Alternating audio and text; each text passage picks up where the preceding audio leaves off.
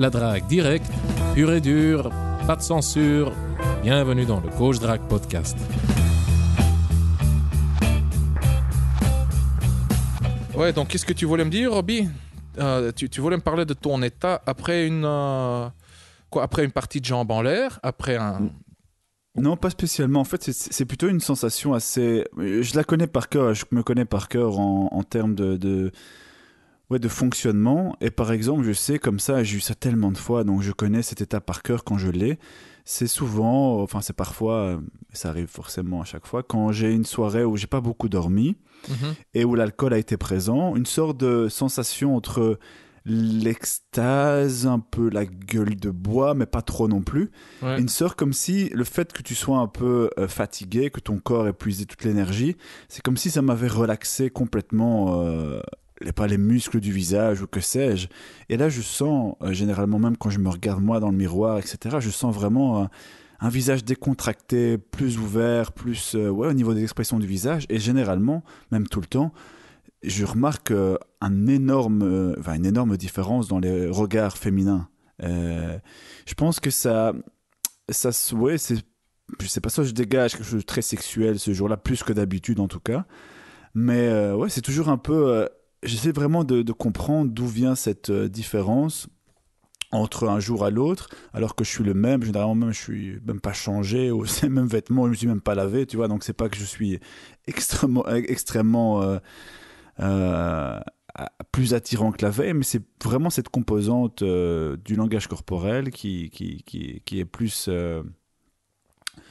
Ouais, qui est plus comme ça, plus animal. Ou, enfin, en tout cas, c'est comme ça que moi je, je l'analyse, mais c'est assez, c'est assez perturbant. J'en parlais justement avec le mec avec qui j'étais à, à Budapest.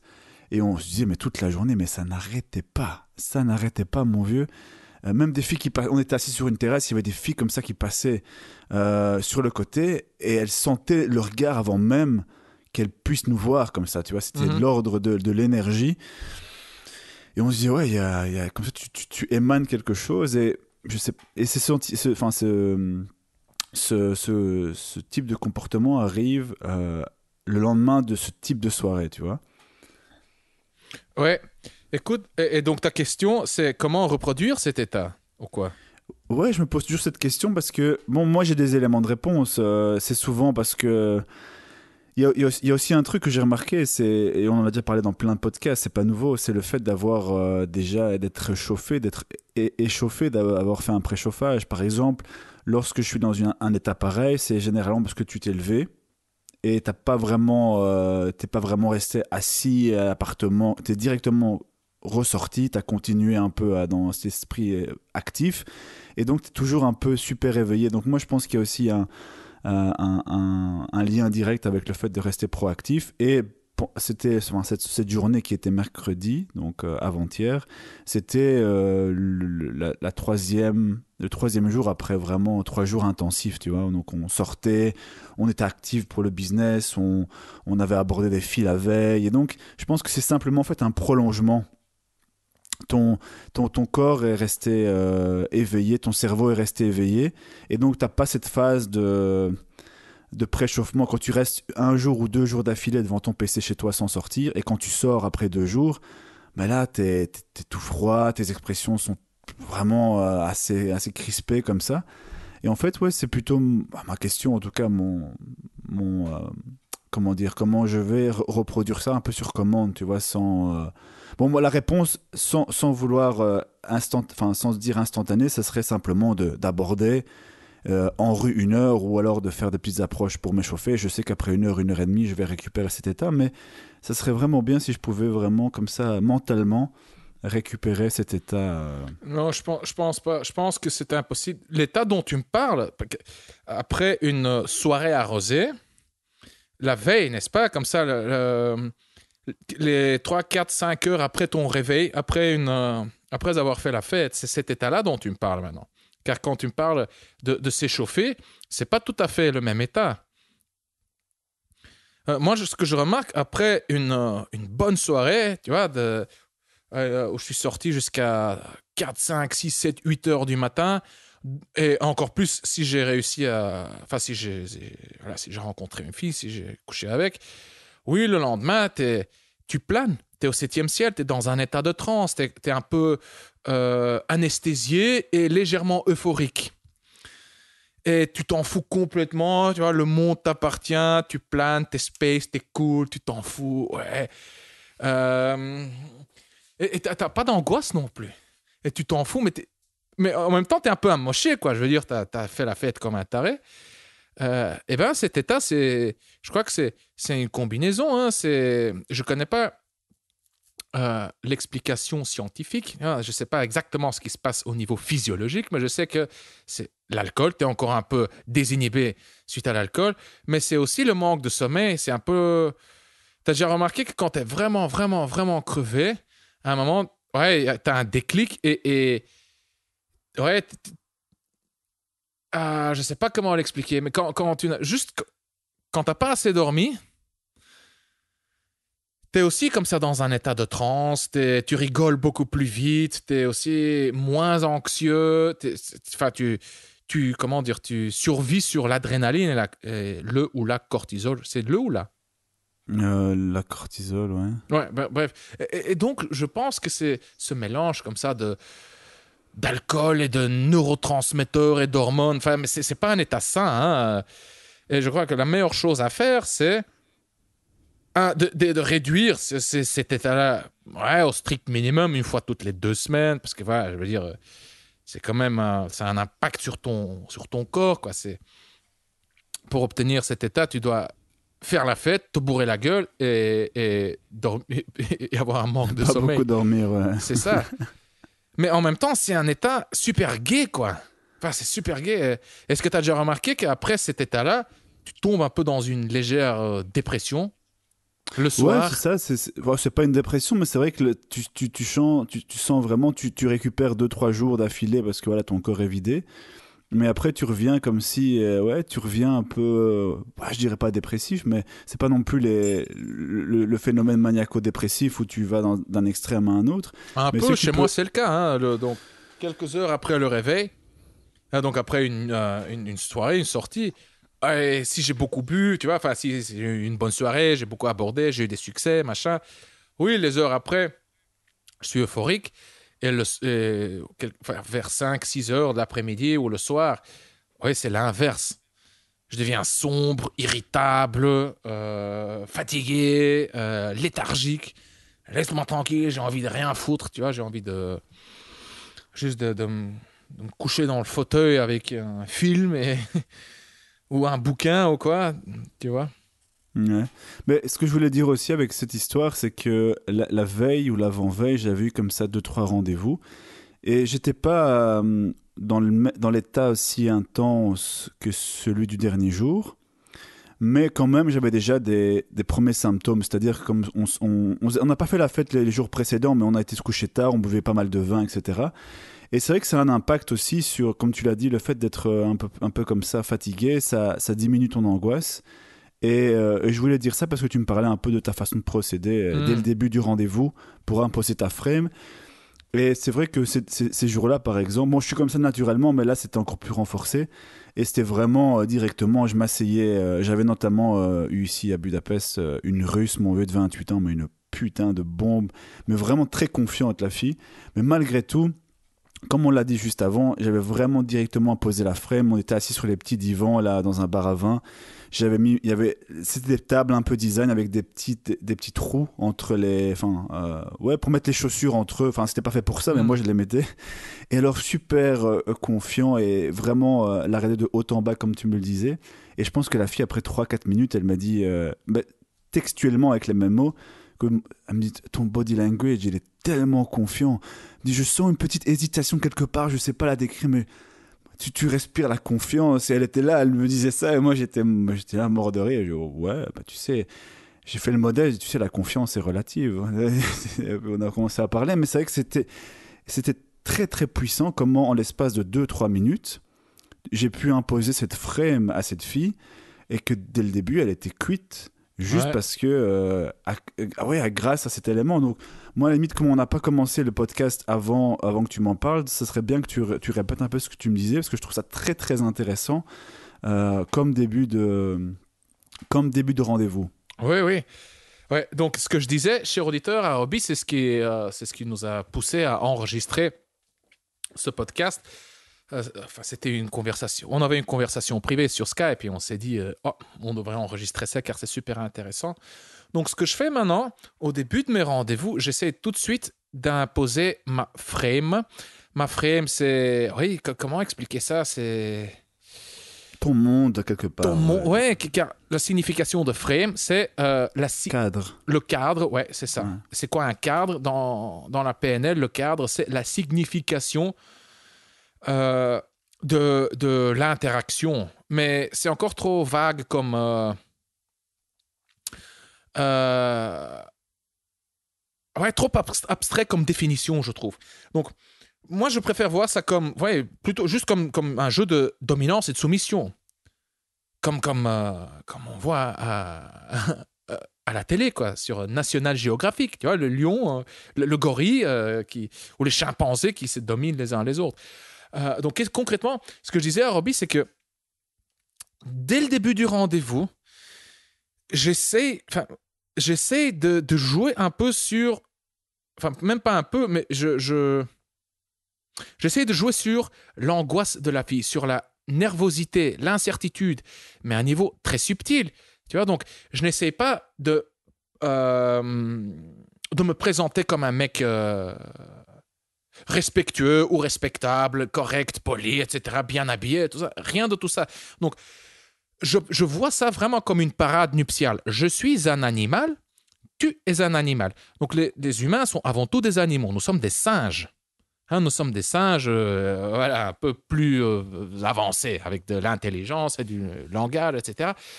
Et donc, je, je, euh, je vise, je cible son cerveau reptilien, son cerveau mammifère. Hein? Et donc, concrètement, qu'est-ce que je fais? Euh, les- mais C'est ce que je t'expliquais mes- lors de mes rencarts. Maintenant, deux reprises. J'arrive au rendez-vous, au lieu du rendez-vous, au téléphone. Mhm. Non, je suis en train de parler et la fille m'attend devant le bar. Et déjà, donc, je parle au téléphone avec mon frère ou avec un ami. Et euh, j'arrive, je dis Oh, euh, désolé, euh, désolé, mon frère, je vais devoir te laisser car elle est là, mon rencard, elle est là, et mon vieux. Mais je le dis ça devant elle. hein. Ah, ah. Enfin, il y a déjà le, con- le contact visuel est établi. euh, euh, j'ai fait signe de la tête, elle aussi, euh, signe de la main, genre ah oui, t'es là, c'est moi, ça va, cool, ça, ça va. tu vois. Donc, non verbalement, on a reconnu notre, no- nos présences, quoi. Et donc, je dis à mon frère ou à mon pote un truc comme Oh mon vieux, ouais, je vais devoir te laisser car elle est là, hein, mon rencard est là. Et oh mon vieux, je peux te dire que ouh, elle est mignonne, quoi. Waouh, ouh, j'ai de la chance. Un truc comme ça. Et alors, je, je la regarde de la tête aux pieds, quoi. Mais vraiment d'un air. euh, oui, euh, masculin, dominant, confiant, genre, et avec un petit sourire comme ça, mesquin, et, oh yeah, I like that. Woo! Et puis, euh, je, je raccroche et je la fixe, mais tout de suitement, quoi, du regard, dans les yeux. Et je maintiens le regard. Et c'est un regard subtilement, enfin, c'est un mélange de légère agressivité, mais très léger, hein, ça doit rester calibré, c'est-à-dire ça doit être socialement ajusté. Tu vois, euh, c'est pas agressif, c'est plutôt dominant. Et un petit sourire comme ça, mesquin, genre. euh, ouais, it's on, quoi. Hein? On, va jouer, toi on va s'amuser. Et, euh, et je la fixe du regard et j'attends jusqu'à ce que je vois un- le moindre signe de nervosité. Tu vois, il y a un petit tremblement dans les yeux ou dans. Qu'elle- elle est, euh, auquel détourne le regard, auquel baisse le regard. Et, si elle maintient le regard, je maintiens le regard, mon vieux. Je commence à faire un léger oui de ma tête, tu vois, genre, euh, genre euh, pour dire, je comprends, tu comprends. Enfin, tu vois? Et puis, quand on s'assied au comptoir, là, pareil, je, je, je, je la fixe du regard, et je maintiens le regard, et, et j'essaie vraiment de de la déstabiliser légèrement. Donc là, je joue vraiment sur la nervosité, euh, sur l'angoisse, sur euh, la réaction combat-fuite, mais à un niveau subtil, léger. Tu vois, euh, moi, Tarzan, toi, Jane. Et quand je, quand je vois comme ça que son équilibre émotionnel, tu vois, que la surface de l'eau, hein, pour utiliser une image, que, je vois qu'il commence à y avoir des petites vagues, que ça- que qu'elle est déstabilisée, je sais que c'est bon signe. J'ai un pas d'avance sur elle. Elle, ré- elle réagit émotionnellement. Donc, elle, elle réagit. Moi, je guide, elle réagit. Et moi, entre-temps, je reste stable. Mon, la surface de l'eau chez moi reste lisse. Donc là, c'est qui qui guide? C'est moi. Et c'est qui qui guide à quel niveau? Au niveau le plus primitif, au niveau instinctif, tu vois, au niveau animal. Et c'est à ce niveau-là que l'attirance euh, a lieu. C'est là que ça se joue. Et tout le reste, tu fais quoi dans la vie? T'es qui? T'es où? C'est secondaire, ça n'a même pas d'importance, quoi. Enfin, oui, ça a une importance juste pour. Enfin, comment dire euh, Enfin, ça en fait, non, ça n'a même pas d'importance. C'est juste du, du, du, du, du formel, quoi. Voilà, c'est. C'est c'est du formel, mais si tu le dis, tu peux le dire. Et comme, comme tu as installé ça dès le début, cette frame dont tu, dont tu viens de parler, ces genres de, de phrases entre guillemets basiques prennent une toute autre connotation. Ouais. Parce que tu la regardes dans les yeux et le qu'est-ce que tu fais dans la vie va pas avoir la même saveur que si tu l'avais dit dans d'autres circonstances. Donc, ce type de frame dès le début apporte euh, ouais, directement le ton à l'interaction. Et donc, quelque part, tu peux parler de la chose la plus basique, ça va avoir une connotation sexuelle.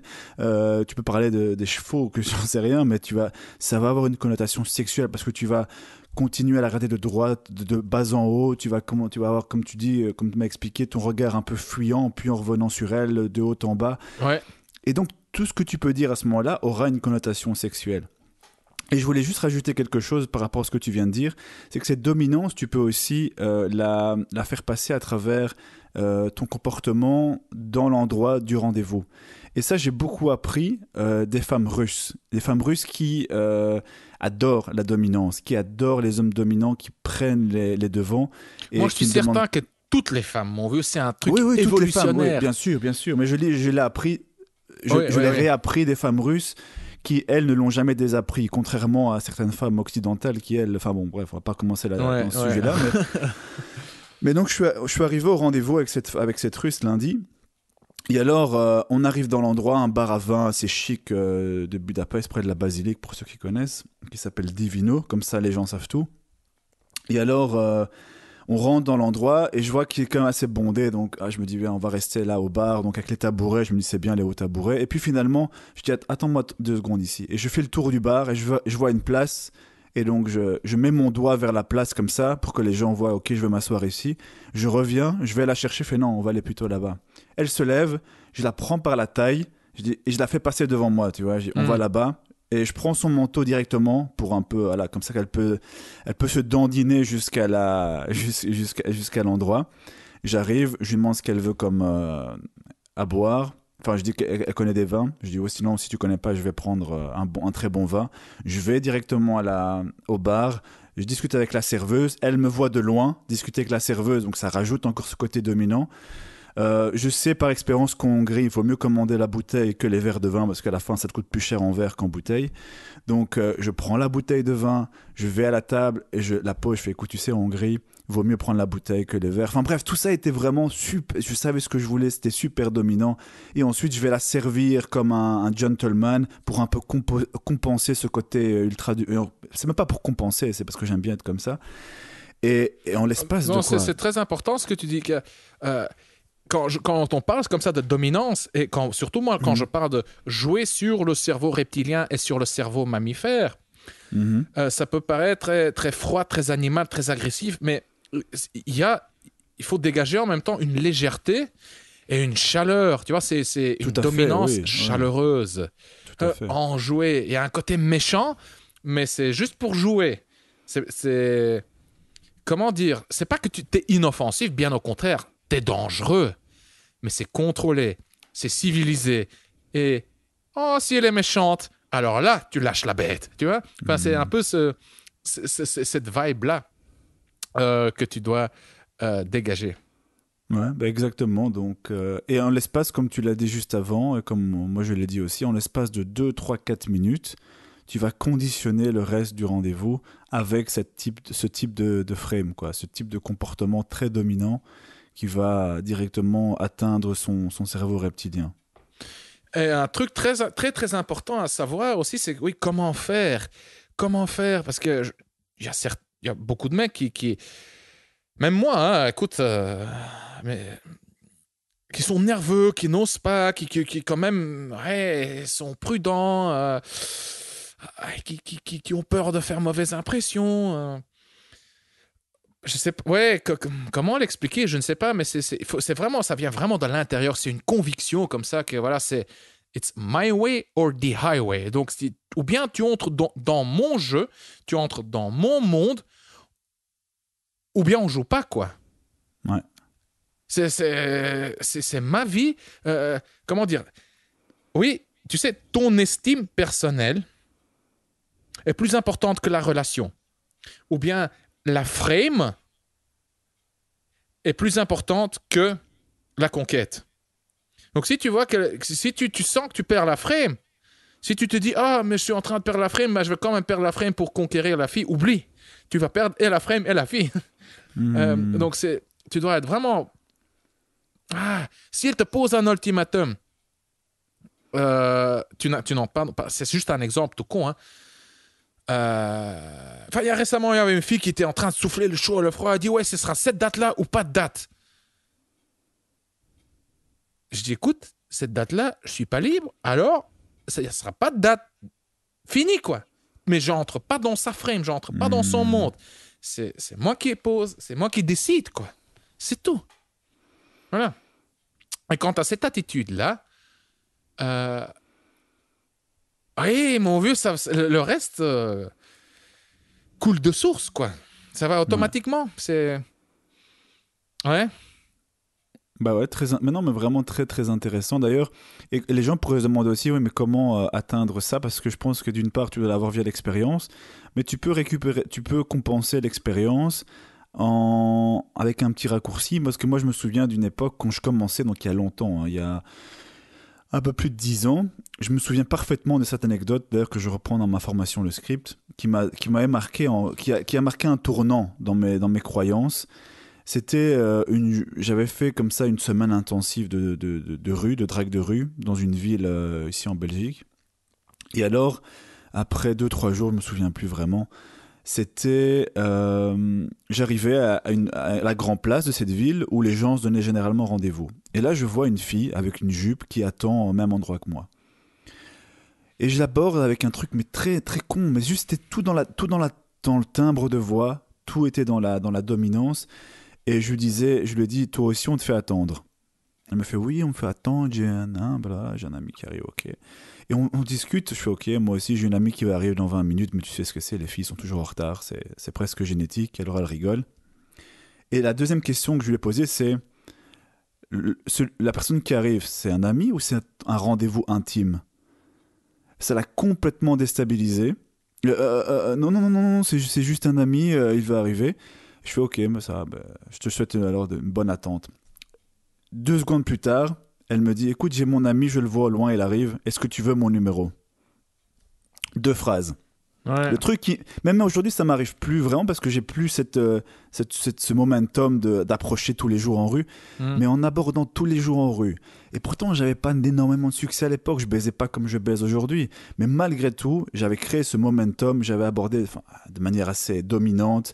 La deuxième question, c'était ton rendez-vous, enfin la personne qui arrive, est-ce que c'est un ami ou c'est un rendez-vous intime? J'ai bien insisté sur le intime. Mhm. La fille était complètement déstabilisée et la, la phrase qui a suivi c'était euh, c'était est-ce que tu veux mon numéro? Mais ça s'est pas terminé là. Trois jours plus tard, je retourne dans cette ville parce que c'était ma semaine euh, intensive et je lui avais pas écrit entre temps. Donc deux trois jours étaient passés, je lui avais pas écrit. Et qui je croise encore avec une jupe mais une amie à elle euh, dans la ville sur la grande place, la même fille, mais elle ne me voit pas. Donc qu'est-ce que je fais? Je rentre dans un bar euh, un peu irlandais, je prends une Desperado, je me souviens parfaitement de cette image, et je lui envoie comme seul message. À l'époque, c'était encore les SMS, tu vois, donc il n'y avait pas de WhatsApp ni rien, donc c'était SMS, euh, message classique. Et je lui envoie jolie jupe blanche, point, sans rien d'autre. Tu vois. Nice. Nice. Ouais, mais tu vois directement la- comment la frame est. euh, Enfin, c'était ça. Mais j'ai pas dévié de mon, de mon schéma, de ma frame, comme tu le dis. ouais, ouais. Sa réponse, merci, mais c'est qui? Euh, Et là, je dis, si tu donnes pas ton numéro à tous les mecs qui t'abordent en rue, tu sais. Point. Nice. Tu vois? Ouais, ouais, ouais. Et Même alors, dans ta euh, réponse, il y a. Ouais. Ouais, le mec super confiant. Comme tu l'as dit, cette confiance à la limite de l'agressivité, de la, enfin pas l'agressivité, mais de la, de la, de l'arrogance. Ouais. Mais, mais voilà, elle m'a vu, elle sait que, voilà, y a- y a- y a- elle, elle m'a vu, je suis pas le, le, le clodo de arrogant de service, tu vois, bon, bref. Et alors elle me répond, ah, donc c'est toi, tu es encore ici? Et je lui dis, oui, euh, je suis encore ici dans la ville. Et là, je continue directement, c'est quoi ton programme pour ce soir? Point. Ah, ben là, je suis avec des copines, mais tu es où? On peut te rejoindre après. Je fais, ok, rejoins-moi à 21h30 à tel endroit. Elle est arrivée à 21h30 ou 22h, je sais plus vraiment, dans l'endroit avec sa copine. Après trois secondes, elle était, j'étais assis sur le bar. J'ai cette image en tête encore parce que c'était vraiment un déclencheur dans mon game. J'étais assis sur le- le tabouret du bar et là, elle se met à côté de moi. Ça- euh, elle est entre mes deux jambes. Mes jambes sont grandes ouvertes, tu vois. Vraiment, même le body language était super dominant. Elle se met entre mes deux jambes, tournait comme ça face à sa copine qui est à ma gauche. Et après quoi, deux minutes, je commence à mettre ma main sous sa jupe et à lui prendre les fesses à pleine main, quoi. Et elle ne bouge pas. Elle ne bouge pas, elle ne dit rien, elle commence à parler à sa copine comme si de rien n'était. Même sa copine voyait ce qui se passait, elle n'osait pas intervenir tellement il y avait une tension dominante dans l'atmosphère. Mhm, mhm. 30 minutes plus tard, elle me dit Oui, je vais ramener ma copine, je reviens ici. Elle ramène sa copine, elle revient dans le bar. Et là, on se, on se casse, je commence à lui prendre la- le cul dans une allée commerçante. euh, Il y avait des gens qui passaient. Et on était à sa bagnole et on a baisé, euh, on a baisé dans sa bagnole. Quoi. Ah, quelle belle histoire. J'ai même une, une, une légère petite érection en t'écoutant, Rovi. Euh, mais c'était il y a plus de 10 ans. Il y a plus de 10 ans. Et je commençais la, la drague à ce moment-là. Et j'étais pas du tout euh, optimisé. D'ailleurs, je le dis dans la formation de script. Les gens me disent Ouais, mais c'est- non, non, il y a 10 ans, j'étais pas optimisé physiquement. J'étais pas optimisé. Bah, tu tu m'as connu à 10 ans, tu vois. J'étais pas comme maintenant. Euh, mais malgré tout, ce qui a, ce qui a surtout joué, c'est la frame, la, la dominance, la confiance Ouais. exacerbé que j'avais accumulé à travers des, des, des jours et des jours de drague. Donc, cette histoire a été en fait l'exemple de comment obtenir, ce- essayer d'obtenir cette frame lors des rendez-vous. C'est simplement d'avoir ce continuum, euh, cette, euh, de- de- Ce momentum, tu veux dire. oui, momentum et continuum, c'est-à-dire de continuer à, à faire, à draguer tous les jours pendant une semaine par exemple, et, et accumuler cette confiance, accumuler cette confiance, Ouais. et tu vas pouvoir avoir cet état euh, de manière assez automatique, même si tu n'es pas super expérimenté. Ouais. Euh, ouais, il y, a il y a trois trucs que j'aimerais dire. Oh putain, j'espère que je vais pas en oublier parce que je, je me connais. Quand je commence à raconter un truc, ça part en, en live et j'oublie euh, le reste. Premièrement, écoute, encore une fois, je répète, au début du rencard, je joue sur l'anxiété et la nervosité et non pas sur le sexuel.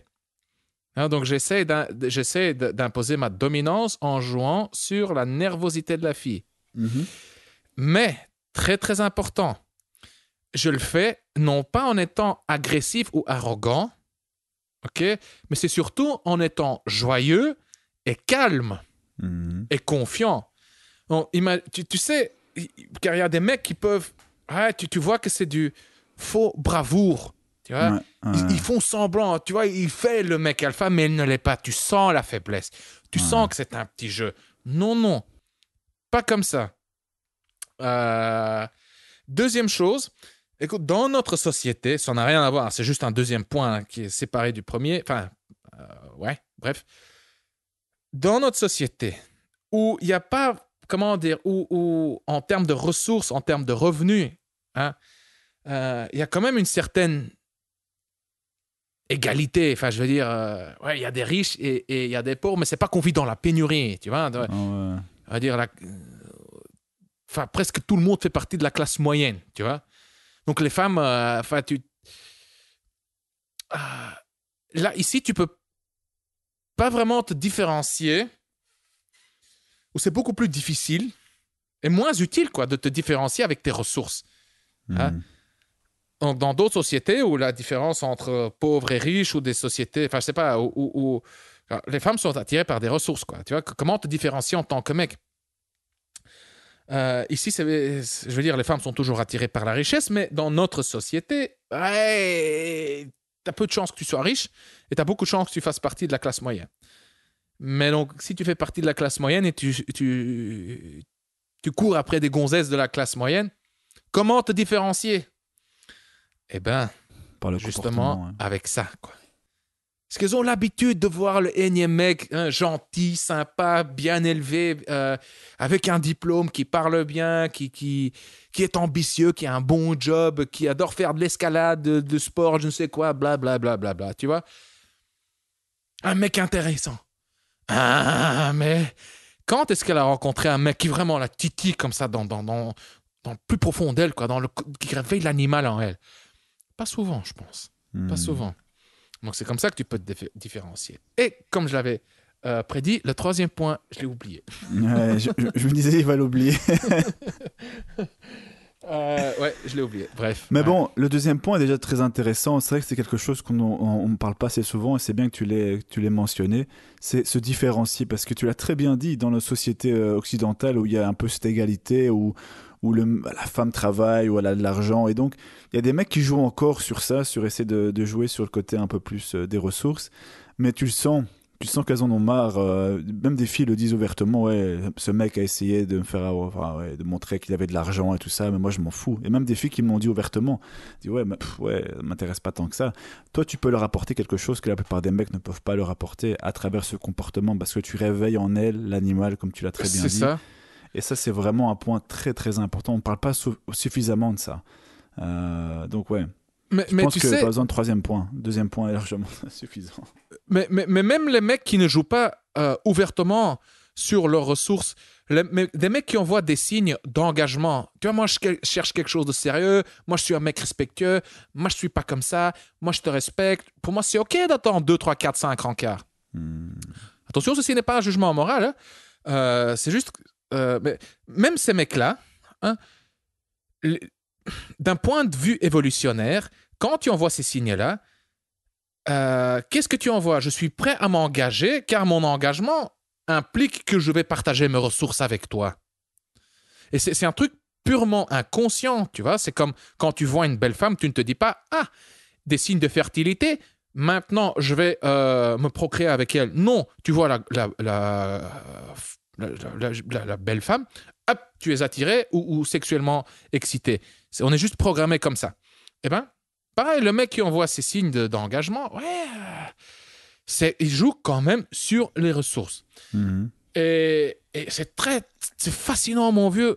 Mais quand tu joues purement sur l'animal, sur la conclusion rapide, euh, sur la dominance, la confiance, quelque part, tu communiques que tu es un homme. Comment dire que tu as une, euh, VMA élevée, une valeur sur le marché de l'amour élevée, car regarde, ceux qui ont la valeur sur le marché de l'amour la plus élevée arrivent plus facilement à imposer leur stratégie sexuelle à l'autre. Et c'est quoi la stratégie sexuelle préférée des mecs? Bah, C'est le cul rapide. Le cul rapide et diversifié. Je parle, encore une fois, il y a des différences individuelles, je généralise, je simplifie, mais.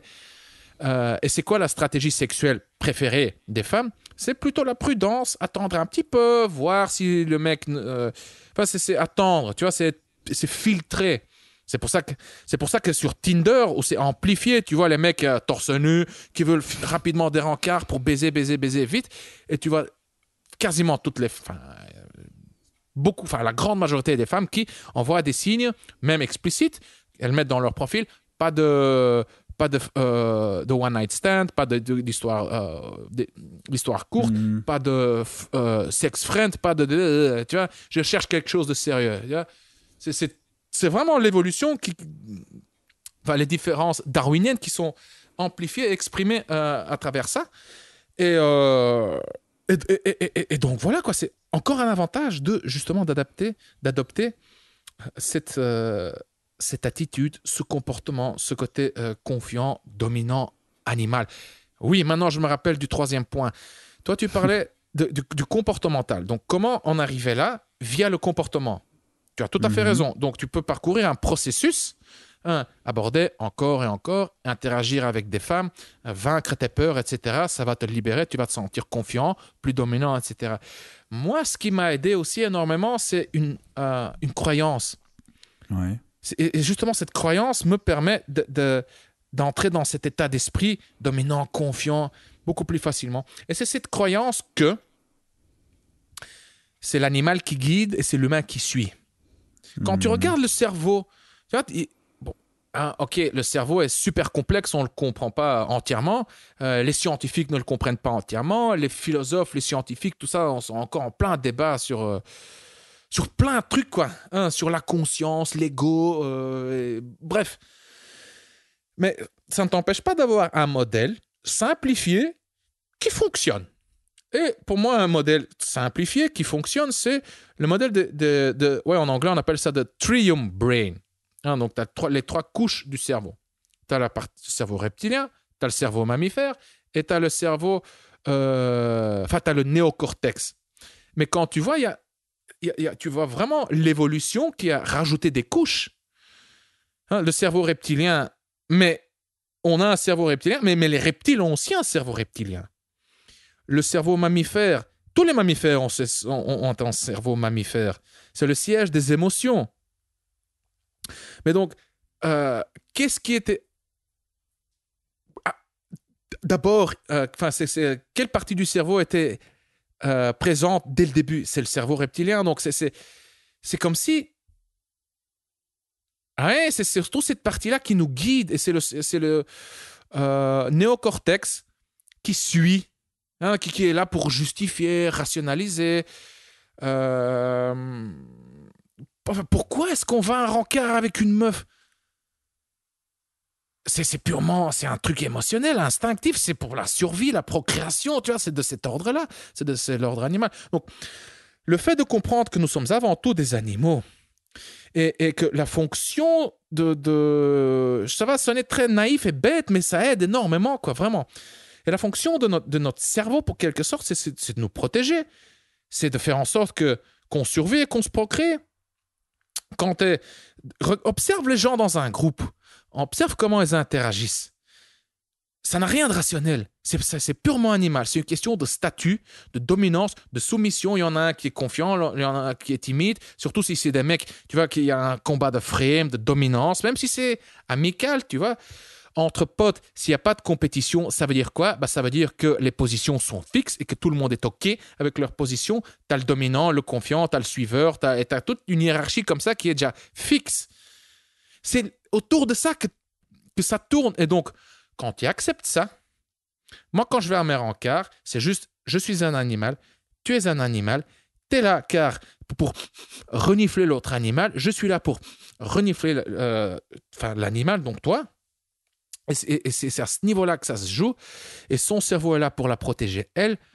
Et mon cerveau est là pour me protéger, moi. Donc c'est une question de moi, d'ego, hein, de survie de l'ego, euh, de protection de l'ego. Et donc, chaque truc qu'elle dit, qu'elle fait, n'a rien à voir avec moi en tant que personne, mais c'est juste un indice de comment son cerveau interprète la situation, comment son cerveau interprète mon comportement. Et donc, tu vois, souvent, Tu vois que c'est- juste, ouais, c'est pour elle, c'est pour protéger son ego. Ah, ah, elle me teste. Tiens, par exemple, elle dit, enfin, elle dit un truc, n'importe. Euh, ah, oublie, je vais pas coucher avec toi. Si tu le prends personnellement, t'es cuit. Ah merde, pas- pourquoi, pourquoi? Comment, avec tout ce que je viens de te raconter, comment tu l'interprètes? C'est l'évolution qui parle. C'est elle qui m'envoie un signe. Je ne suis pas une fille facile. Hein, je respecte juste mon programme darwinien. En même temps, je, l'interprète comme un signe de, comme une ouverture, une faille. Pourquoi est-ce qu'elle me dit ça? C'est parce que, justement, ses gènes, son ADN, tu vois, l'évolution, toute la partie inconsciente d'elle, me considère comme un candidat potentiel. Elle me voit comme un bon candidat, sinon elle ne le dirait pas. N'est-ce pas? Hmm. ah, et donc, mais ça, c'est un exemple tout con. Donc, quand tu interprètes le comportement humain, et pas que le comportement féminin, à travers ce filtre évolutionnaire, ce filtre animal, mon vieux, moi, ça m'a libéré entièrement. Euh, elle était intelligente, euh, elle est plus euh, éduquée que moi. Je m'en tape. Avant, ça m'intimidait. Maintenant, ça ne me fait plus rien, car on s'en fout de son éducation. Ce qui compte, et c'est le côté animal. c'est sa confiance en elle, hein, sa nervosité ou l'absence de nervosité. Euh, et elle est d'un tout autre milieu. On s'en fout. On joue d'abord sur l'animal. Et l'autre milieu, la culture, ça vient qu'après, quoi. Hein, la sous-culture, hein, est-ce qu'elle est euh, punk ou rap ou, enfin, je sais pas, bourgeoise ou euh, altermondialiste, on s'en fout. Enfin, tu en tiens compte, bien entendu, mais quand tu te concentres sur euh, le côté animal, on est tous les mêmes. Hmm. Vraiment, on connaît la joie, la- la- l'anxiété, la- l'excitation sexuelle, euh, la peur, et- etc. Donc, c'est ce que je voulais dire que quand je me- quand ah ouais, avoir toutes ces croyances là me permet d'être beaucoup plus détaché de ouais de, de- du comportement de la fille Social, ouais, c'est ça. du comportement de la fille ça m'aide- ça m'aide vraiment à imposer ma frame voilà. Mm. Mais c'est vrai que c'est un super, euh, super, une super astuce mentale euh, de, vo- de voir, euh, ouais, de, de, de voir les filles vraiment comme, comme, ouais, comme des animaux, comme même nous voir simplement comme des animaux. Et moi j'ai ça aussi. Je peut-être pas que je le formule de la même Attention, manière. dans- euh, pardon, je, je désolé de te couper, petit astérix, c'est pas qu'on on réduit les filles à des objets, genre ah, nous, on est mais supérieurs, non, sont mais des- non, Mais non. nous aussi, les mecs, on est des on est des primates. Nous sommes des primates, des singes, hein, euh, les humains, voilà. Je suis tout aussi animal que la fille, tout simplement. Exact. Yes. Ouais, Écoute, désolé. je- enfin, parfait. tu disais, je sais pas, tu étais en Non, train de dire un truc, ça, je coupé. tout à fait d'accord. Je dis, je le formule peut-être pas de la même manière comme, euh, comme croyance, comme astuce mentale, mais le, le principe, euh, comme, comment je vois les choses, c'est exactement similaire. Donc, euh, c'est tout ce que je voulais rajouter. Oui, mon vieux, et. Ouais, et moi je trouve ça tellement, tellement, tellement libérateur car ça te rend vraiment indépendant de ton. euh, ou ça te détache beaucoup plus de, de ton statut social, de ton apparence physique, Hmm. de, de, de plein de trucs, quoi. Oui, c'est pas que ces choses-là, ce- c'est pas que ton apparence physique, ton statut social et tout- ça ne joue aucun rôle. Mais quand tu as cette attitude, cette énergie qui vient de l'intérieur, cette dominance, cette confiance, oui, ça augmente ta valeur sur le marché de l'amour, ça te rend plus attirant et, et donc ça diminue automatiquement l'importance euh, des autres constituants de ta valeur sur le marché de l'amour. Hmm. Voilà. Bah écoute, quand tu dis ça, je sais pas si on va en parler maintenant parce que ça veut dire 40 minutes, mais tu, me dis si ça, ça vaut la peine, de, tu peux résumer ça en quelques minutes ou pas, mais ça, me renvoie à une, à une constatation empirique. Euh, c'est déjà un ami à moi qui disait ça à l'époque, euh, et il a tout à fait raison. Quand tu regardes un peu les, les couples dans la rue, ou quand tu vois les filles les plus féminines, sont généralement avec les, les- les mecs les plus masculins. Ouais, Et d'autres, ça c'est la première constatation. Et l'autre constatation, c'est euh, voir, par exemple, moi qui vais beaucoup dans les pays de l'Est, de voir à quel point les, les mecs sont, d'après en tout cas nos standards euh, esthétiques, sont pas très beaux. Mais comment les filles euh, russes, qui sont parmi les pour- enfin, ru- russes, slaves, etc., parmi les plus, les plus belles en termes de, de nouveau de standards, mais qui sont reconnues par tous, il n'y a pas que par moi, ou en tout cas presque par la majorité, sont, sont très attirés par ce type de mecs qui sont pas forcément très beaux, mais qui sont très masculins, et qui vont un peu, euh, même si elles trouvent des mecs plus beaux en Europe de l'Ouest, mais qui n'ont pas cette euh, composante dominante, qui vont, Ouais. euh, qui vont pas être attirés par ce type de mecs. Donc ouais, ça c'est aussi un bon exemple de ce que tu viens de dire en termes de, de, de composants de dominance, au- au-delà même de, de l'apparence physique qui est importante bien sûr, mais qui n'est pas super importante parce que- par rapport à ce que je viens de dire. Et il faut voir aussi les couples ici chez nous. Regarde un peu la, la fille, pas très... il y a des mecs qui sont bien physiquement, en tout cas d'après hein, certains standards actuels, mais tu vois un peu leur comportement pas très dominant, tu vois leur copine qui est un peu une camionneuse, quoi, ou pas très loin. Et donc, euh, tu te poses des Hmm. questions, des mecs, tu dis, ouais, mais ce mec a quand même de la gueule, il est pas mal, et quand tu vois la fille avec qui il est, dis, mais putain, mais il pourrait avoir mieux, mais en fait, non, oui et non, quoi. Parce qu'il a, il a perdu cette composante, euh, pour la plupart, un peu dominante, et donc ça, c'est aussi une constatation, qui- une constatation qui est assez intéressante, quoi. Oui, tout à fait. Là, maintenant, je me pose une question. euh, comment est-ce qu'on pourrait expliquer d'un point de vue évolutionnaire euh, l'évolution dans notre société où, euh, oui, les femmes deviennent un peu plus masculines dans leurs dans traits, dans leur comportement, et, et les hommes deviennent un peu plus féminins Mhm. dans leur comportement, leur façon de s'habiller, leur, le- le- le- leur apparence. Ah, ils se font beaux. ils- ils- maintenant, les, les hommes font aussi faire des pédicures, des manicures. Il y a des- ils mettent des petites crèmes. euh. Mais je suis convaincu qu'au d'un- d'un à un niveau vraiment primaire, animal, tu vois, euh, l'équivalent masculin de la beauté féminine, hein, quand tu vois une, belle fille de entre 20 et 25 ans avec les bonnes proportions, une belle peau, des bonibards, belles fesses, tout de suite, mon vieux, t'es vendu, quoi.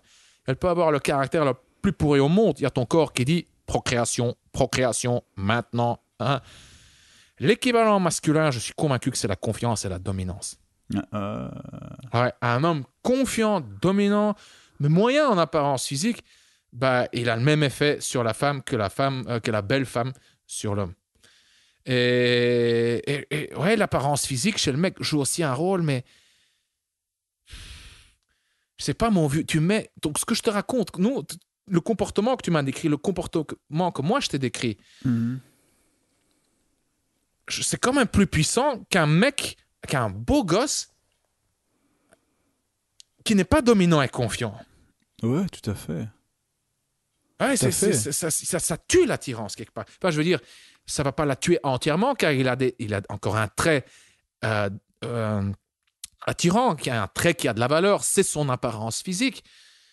Mais t'as, t'as combien de fois t'as déjà vu le mec, tu dis waouh le beau gosse mon vieux, tu, tu, il, il dégage comme ça une aura masculine, tu vois, waouh t'es impressionné. Et tu commences à interagir avec lui et il perd tout son aura parce qu'il a un peu une voix bizarre et tu vois, il est- et dans ses mouvements, il est un peu. euh, Enfin, je sais pas, il est pas. il- Un peu gauche. hein. Ouais, il est pas masculin. Tu vois, il a juste la, la mâchoire un peu carrée, les épaules un peu larges. euh, et tu as cru qu'il était dominant et viril, mais en fait, dans son comportement et son attitude, il l'est pas. Et tu vois, alors aussi chez les filles qui interagissent avec lui, que oh, le- la toute première, comme ça, réaction instinctive, c'est c'est la lueur dans le regard. Et une fois qu'elles interagissent avec lui, tu vois que, ouais, bon, elles perdent leur intérêt. Mais Exact. purement inconsciemment, donc. Euh, ouais, la morale de l'histoire, mon vieux, c'est. Écoute. euh, ouais. Dominance, confiance et la drague, quoi. hein. Je Mhm. reviens toujours à ça, l'apprentissage de la drague. C'est que. Ouais. Ouais, c'est vrai. Par contre, il y a une dernière, dernière petite remarque.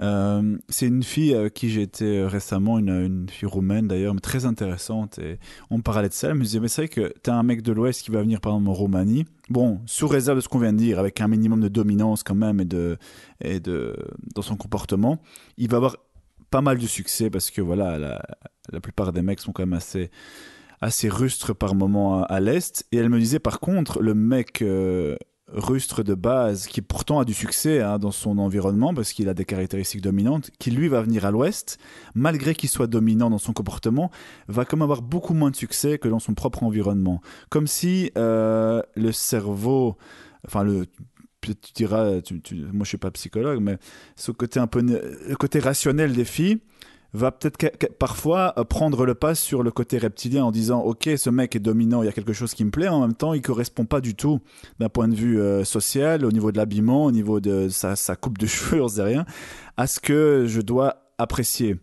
et ça pourrait expliquer qu'il y a des mecs pas mal euh, dominants qui viennent de l'est à l'ouest mais qui n'ont pas ce succès qu'ils ont dans leur environnement tu vois Hmm. Maintenant, c'est, j'ai, pas, j'ai pas beaucoup, beaucoup, beaucoup d'exemples. Euh, mais c'est vrai que c'est des filles qui m'ont, qui m'ont assez intelligentes, qui ont voyagé des deux côtés de, de pas dire l'hémisphère, mais à l'ouest et à l'est, et qui m'ont dit ouais, un mec de l'ouest qui est assez dominant, qui vient à l'est, va parce qu'il a des composantes assez attirantes, il s'habille bien, il prend soin de lui, mais il est dominant, mais il va avoir beaucoup de succès à l'est. Mais l'inverse n'est pas forcément vrai, malgré les composantes de dominance, tu vois. Hmm. Oui, oui, oui. Donc c'est assez intéressant aussi de se dire ouais, mais à, que- à- à quel niveau ouais. euh, Je sais pas si on peut. Ouais, ouais. Je sais pas si déjà c'est- c'est c'est une observation euh, qu'on peut généraliser. Ouais, première chose. Et, ouais. et- et si on pourrait la généraliser, je sais pas si on peut l'expliquer d'un point de vue général, global, hein, un point de vue, euh, comment dire, sociétal. Ça se dit, sociétal? Ouais, tout à fait. ouais. Euh, Ou bien est-ce qu'on pourrait l'expliquer d'un point de vue individuel? Je crois que l'explication individuelle a, a fait plus sens. Quoi. Hmm. Je peux bien m'imaginer. C'est aussi probablement une question de statut. Ouais, ça aussi, ouais. Euh, et de perception. Donc, enfin, je veux dire, le mec ouais. qui vient de là-bas, il vient d'un pays qui, qui enfin, plus pauvre. Je, enfin, en général, ils sont considérés comme ça. Ils ne parlent pas la langue. Euh, c'est pas une culture. Enfin, comment dire nous, quand on vient là-bas, on a quand même en- encore quelque part une, une supériorité. C'est comme ça qu'on le, nous, on le perçoit en tout cas. Je sais pas si là-bas ils le perçoivent de la même façon. Je sais pas si euh, c'est pas où ils placent exactement l'Europe de l'Ouest sur euh, sur l'échelle, quoi. Tu vois? Hmm. Euh, donc, ouais, euh, peut-être que ça joue. Je sais pas. Je sais pas. Ah, Parce parce que quand il y a un mec de la Pologne qui vient ici, c'est ah ouais, le polonais. Enfin, tu vois, c'est c'est clichés, c'est stéréotypes qui sont activés immédiatement. Enfin, c'est un, un ouvrier un- avec Mhm. une tête ronde comme un ballon de football ou bien une tête carrée comme. Mais, mais l'inverse est aussi vrai aussi. Je te dis, j'ai vu des reportages, notamment euh, d'agences matrimoniales. euh, Enfin, j'avais vu une fois une Ukrainienne, mais qui était habitée dans le sud de la France, donc qui parlait très bien français, et qui avait créé sa propre agence matrimoniale entre les Ukrainiennes et les Français. Et on voyait des Français qui allaient euh, en Ukraine et qui pensaient juste parce qu'ils étaient de l'Europe de l'Ouest et qu'ils étaient entre guillemets, en tout cas, ils le pensaient mieux que les Ukrainiens de base, qu'ils allaient faire un carton. Mais la, la, la réalité, c'est pas du tout parce qu'ils étaient tellement mous Ouais, sans ouais. confiance, sans rien, que les fils ukrainiennes disent mais c'est quoi ce clown quoi? Déjà il parle pas anglais et il vient en Ukraine parce qu'il pense juste parce qu'il est occidental qu'il va il va tous nous choper. Et j'ai déjà parlé de ça avec des filles euh, euh, ouais, ukrainiennes ou russes et elles se disent oui parfois les, les, les mecs de l'Ouest pensent qu'ils vont venir et parce qu'ils sont de l'Ouest on va on va se coucher à leurs pieds mais ils ont pas tout compris quoi parce que il y a aussi des il y a aussi des, des différences sociales. Je veux dire il il faut pas croire que toutes les femmes russes gagnent 200 euros par mois. Moi j'allais en Russie à Moscou où les filles gagnaient deux fois trois fois plus que moi tu vois. Ouais. Euh, ça dépend dans quel environnement tu vas. Mais ce qu'elle elle valorisait plus, c'était un mec qui prenait soin de lui, certes, mais qui était aussi très dominant, qui savait ce qu'il voulait. C'est-à-dire que la plupart des mecs occidentaux, avec cette fille-là, ils avaient aucune chance. Donc il faut, faut un peu, je pense qu'il y a, il y a un peu à prendre, à boire et à manger, mais. Mais tu as raison, je pense qu'à la base, quand il y a vraiment une analyse euh, empirique de tout ce qui s'est passé, en tout cas mon expérience, c'est que la, dominance, la confiance, euh, c'est quand même le trait numéro un qu'on peut ressortir de tout ça. Après, il y aura des petites différences individuelles suivant l'environnement, pas mal de choses, mais si on doit vraiment en retirer deux traits, c'est c'est la confiance et la dominance. Quoi. Ouais, Ouais, clairement, ouais. clairement. Ouais. Et, et c'est oui, c'est subtil comme état. hein. C'est tu peux très facilement, enfin oui, euh, tomber dans, dans l'arrogance. euh, Mais quand tu tombes dans l'arrogance, c'est que t'es pas confiant. C'est il y a, y de l'incertitude derrière. Tout à fait. Ouais. Donc de sweet spot, comme on dit. Comment on pourrait traduire sweet spot en français? Hmm, je sais pas. Enfin oui, la, la zone optimale, on va. la- Hmm. est, est- est quand même assez petite et assez fragile, pour ainsi dire. Mais une fois que tu as été dedans, tu, tu sais ce que c'est. On peut en discuter, on peut en parler, on peut essayer d'écrire, d'utiliser des, des centaines d'adjectifs. C'est comme le miel, tu vois, tu peux décrire le miel, mais tu sais, tu sais que... euh, il faut le goûter enfin, pour savoir ce que c'est Ouais. vraiment. hein. Euh, voilà. Bon, Robbie, je te propose qu'on en reste là. Mon vieux, Ouais. on a fait... euh, Un- devenu un un, long épisode. euh, ouais. Et euh, ouais, on va terminer par euh, quoi? Par la promo de. On va faire la promo la plus rapide et la, moins ciblée au monde. Euh, donc, cher auditeur, si tu ne sais pas quoi dire aux filles, alors jette un coup d'œil au script. Ça, c'est une formation, le script. Dans le script, tu apprendras quoi dire, comment le dire, où le dire, quand le dire, pour passer de l'approche à la conclusion dans plein d'environnements différents. Si tu as des sentiments particuliers pour une fille, hein, si, tu, te dis, oh là là, cette fille, elle est unique, elle est spéciale, je dois être prudent pour ne pas la brusquer, pour ne pas perdre mes chances avec elle, alors jette un coup d'œil à Tu la veux, tu l'auras. Et euh, si tu ne l'as pas encore fait, alors abonne-toi au Coach Drag Podcast. Tu peux t'abonner euh, ouais, dans iTunes, sur SoundCloud, YouTube ou par email et tu trouveras le lien pour t'abonner au Coach Drag Podcast euh, dans la description. Euh, non, non, non, sur le site du Coach Podcast, pardon. Et l'adresse du site est coachdrag.com slash podcast. Voilà. Merci Robbie, merci, cher auditeur. Consti. Et Bye. on se voit dans le prochain épisode. Bye bye.